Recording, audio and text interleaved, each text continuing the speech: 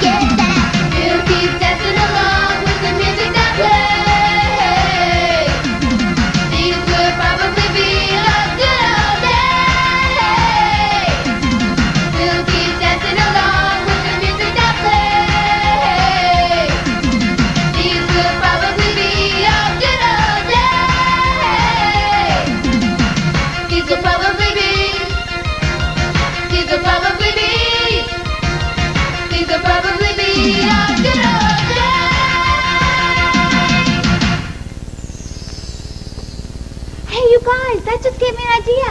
Come on, I know a way we can save the place. Let's go. First, tell us where you're going. To court to see the judge.